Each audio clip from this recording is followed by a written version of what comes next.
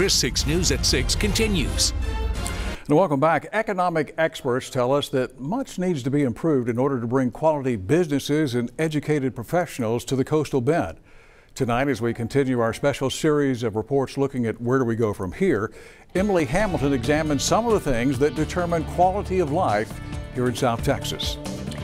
Lee, overall quality of life here in Corpus Christi is often damaged by our city's lack of employment opportunities and the shortage of companies choosing to locate in Corpus Christi. Whether you're looking to move to a city long term or just planning to visit, the first question asked is often, what's there to do there? Aside from our obvious advantage of living near the beach, there are several other factors that determine quality of life.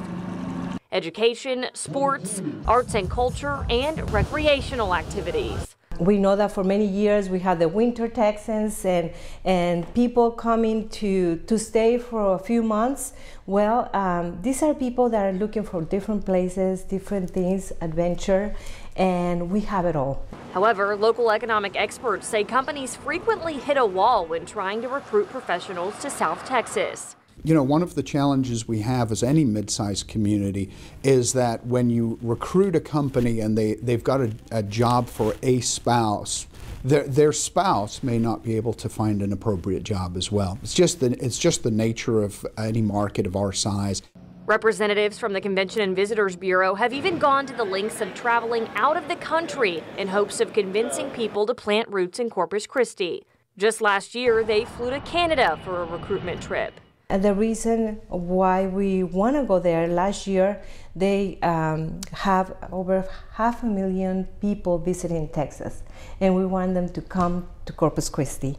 When people do move here, they typically have questions about the lack of large franchises and few places to shop you know, we get asked folks all the time, is there a Costco there? Is there, is there a Trader Joe's and things like that?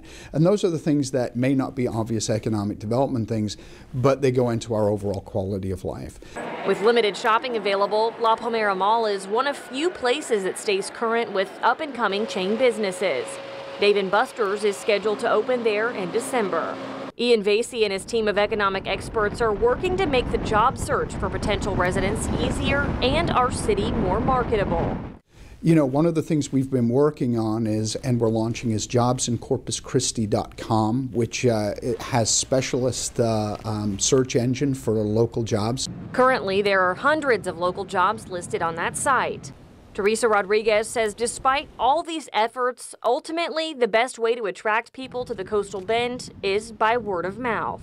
So when people come, they visit us, they see all the great things that we have, the hospitality of our people, the great hotels that we have. They go back home, they tell their family, they tell their friends, and they come here.